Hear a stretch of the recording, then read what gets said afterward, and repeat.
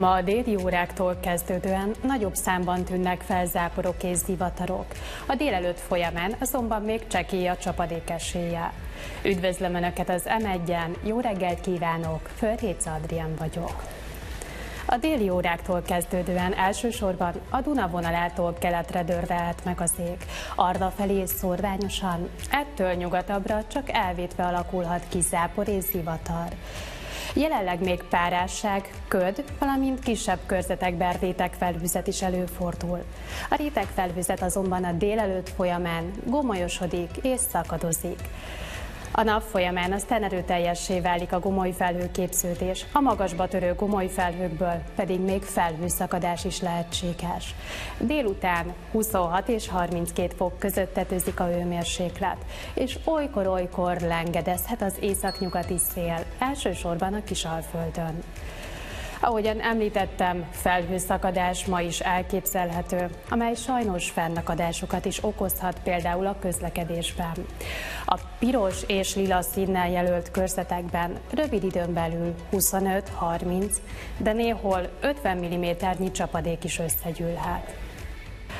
Az ivatarok miatt pedig mindenképpen kövessék figyelemmel ma a viharjelzést a strandokon. Folyóink közül a legfrissítőbb továbbra is a Rába, Győrnél mindössze 20 fokos. Nagyobb tavainknál kiegyensúlyozottabb, kiegyenlítettebb a kép, jellemzően 24-25 fokosak. Az előttünk álló hétvégén visszatér a hőség, így mindenképpen érdemes felkeresni a vízpartokat hűsölési céllal. Szombaton és vasárnap záporokra, zivatarokra alig számíthatunk. Neten északkeleten, majd vasárnap északon és északnyugaton dördelhet meg az ég.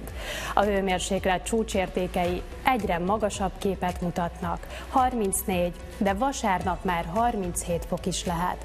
Aztán hétfőn egy hideg front érkezik hozzánk, nyomában északnyugatira vált az áramlás, és a Kisalföldön átlagosan 3-4 fokkal visszaesik a hőmérséklet. Körülöttem a múlt hétvégi vihar nyomait láthatják, miután a Dunától keletre heves zivatarok alakultak ki. Felhőszakadás, nagyméretű gyakran tojás nagyságú jég és erősen viharos szérdalmok is előfordultak, komoly pusztítást okozva. A heves szélvész, mely esetén a szélsebesség meghaladja a 100 km per órát, már gyökerestül forgathatja ki a fákat. Az Országos Katasztrófa Védelmi Főigazgatóság azt tanácsolja, ha szélvihar esetén szabad ég alatt tartózkodunk, őrizzük meg a higgadságunkat, és minél előbb keressünk védett helyet magunknak. A legjobb, ha behúzódunk a házba, bezárjuk az ajtót, ablakokat. Abban az esetben, ha egy autóban vagy egy sátorban vagyunk, azonnal hagyjuk el, mert rádülhet egy fa, és bentről nehezebben lehet érzékelni a fenyegető veszélyt.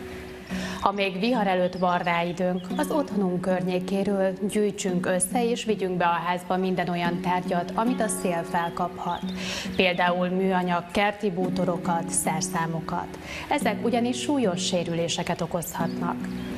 A károk elkerülése érdekében mindig felhívjuk a figyelmüket a veszélyes időjárási jelenségek esélyére, hiszen fontos, hogy megelőzzük a bajt. Viszontlátásra!